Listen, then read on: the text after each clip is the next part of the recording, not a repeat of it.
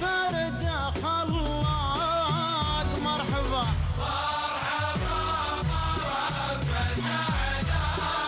بسم الله الرحمن الرحيم وعلى بركة الله نستعين.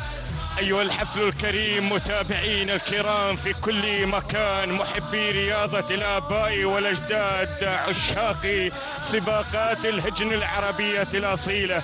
أحييكم مرة أخرى من هذا الموقع مع اندفاع وانطلاق سادس أشواطنا في هذه الفترة الصباحية الجميلة التي تعلن عن بداية هذا الموسم الخاص لعاصمة الميادين ميدان الوثبة انطلاق شوط البكار المهجنات الأصايل التي بدأت بالصراع بدأت بالنزاع بدأت بالمنافسة على مقدمة الشوط ليتقدم هذا الحمر الجميل ليتقدم هذا الشعار المميز. صباحك وردة حمراء يا الخيلي. تتقدم مع المركز الأول في هذه اللحظات والمنطلقة والمتواجد الآن أيضا مع المستحيل وأيضا المندفع أيضا مع المحترف وهنالك الظافر وهنالك أيضا أسماء قادمة في هذا الصراع. تتقدم مع محفوظ بن خميس العنيبي أخذ المركز الأول ولا العنود ما زالت صامدة ما زالت صامدة.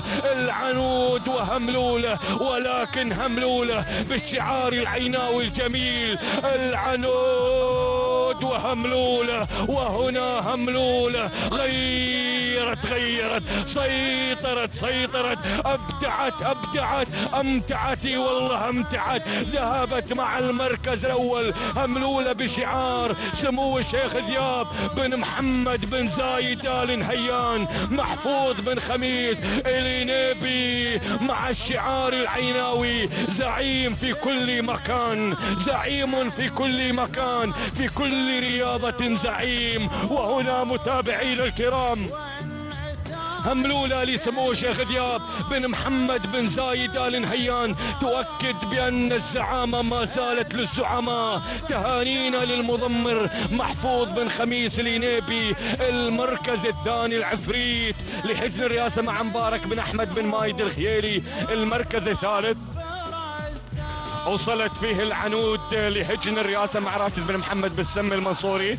المركز الرابع وصلت فيه منصورة لهجن الرئاسة مع المميز مبارك الخيالي المركز الخامس. وصلت خامسا الطيارة أيضا لهجن الرئاسة. أيضا مع المميز مبارك بن أحمد بن مايد الخيلي. إذا متابعينا الكرام في كل مكان. هكذا الشوط الجميل الذي بدأ مع العنود وانتهى بهملولة تهانينا لسمو الشيخ ذياب بن محمد بن زايد آل نهيان. تهانينا للزعيم محفوظ بن خميس الينيب التوقيت؟ ست دقائق 12 ثانية أربع أجزاء من الثانية والتوقيت الزمني بينما اللي وصلت مع المركز الثاني. اللي وصلت مع المركز الثاني توقيت الزمني ست دقائق 17 ثانية. أربع أجزاء من الثانية. تهانينا لهجن الرئاسة على فوز العفريت. تهانينا لمبارك بن أحمد بن مايد الخيالي بينما المركز الثالث أيضا لهجن الرئاسة مع راشد بن محمد بن سم المنصوري. والتوقيت الزمني ست دقائق.